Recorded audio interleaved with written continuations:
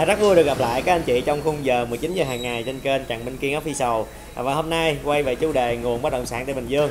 À, Kiên sẽ gửi đến quý anh chị một video để Kiên giới thiệu đến anh chị một cái ngôi nhà à, mặt tiền của đường Trần Quốc Toản thuộc phố thương mại Unitown ngay trung tâm thành phố mới Bình Dương.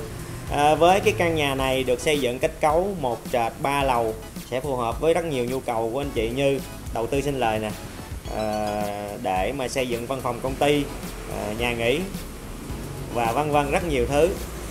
Thế thì bây giờ để xem cái căn nhà này như thế nào khi mời anh chị hãy cùng kiên đến phố thương mại Unitown anh chị nha. Xin mời.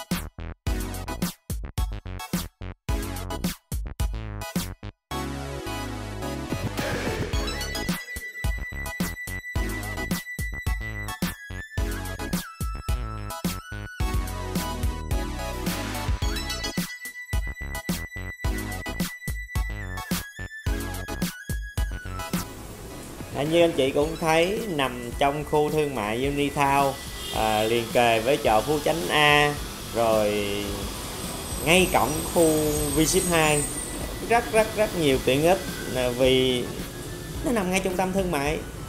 Nó nằm ngay trung tâm thành phố mới.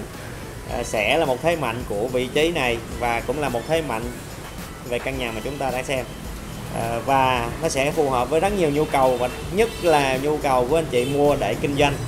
À, như vậy là hôm nay tôi đã giới thiệu đến cho các anh chị một cái căn nhà tại trung tâm thành phố mới Bình Dương thuộc phường Hòa Phú à, và thuộc phố thương mại Unitown à, với diện tích là ngang năm chiều dài là 21 à, thổ cư 100% hai mặt tiền trước là Trần Quốc Toản hoặc là Phạm Văn Đồng phía sau là mặt tiền nhựa 6m nội bộ. À, với giá bán thì Kiên sẽ để trong phần mô tả xin anh chị hãy xem và cập nhật ở bên dưới.